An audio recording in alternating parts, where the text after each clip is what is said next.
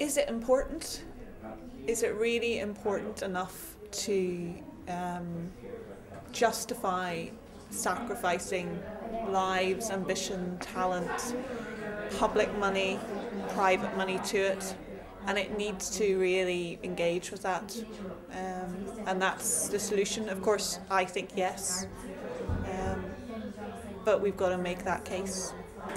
I, I think it's it's we're we're in a state of, of real transition in from being funded and supported through corporations, through the Arts Council, and we're all sort of reeling from the finances of it. At the same time, um, I find that there's opportunities when just you know it's sort of like the mother invention comes in and you're starting to partner and new ideas are coming through and different you know different approaches. And I, I find that very exciting but uh, it's a it's, it's a challenge and I think we're coming we're, we're rising to the challenge basically. Actually finding the energy at the end of every day to keep going it's actually about keeping going at the moment um, vision is an, an, a luxury at the moment, and that's why it's wonderful to come to Theatre Forum Conference.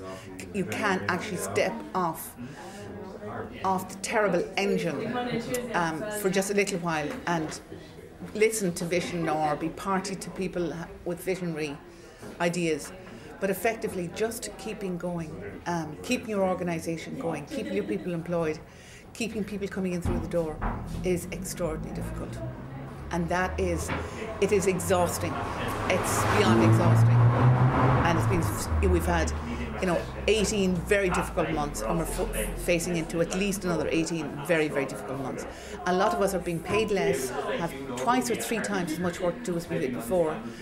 And we're all getting older. Um, I think it's always the case of it's always the kind of the question of like how do we adapt to ever changing times?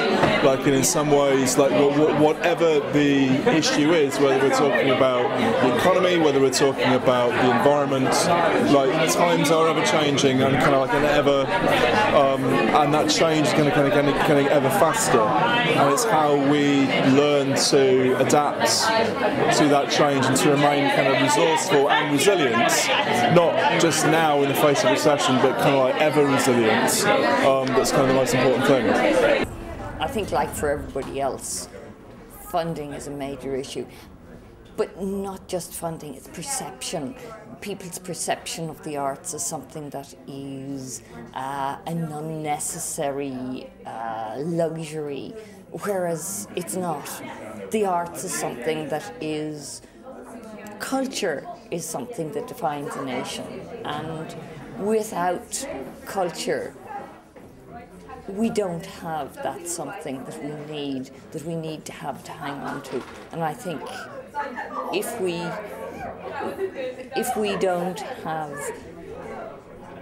people the, the decision makers if they are unaware of this then, then, this is a disaster. And that's right back to where we came in with the question of what Theatre Forum is important for. They're important to inform or, or to help us all inform the decision makers that the arts and culture are so incredibly important.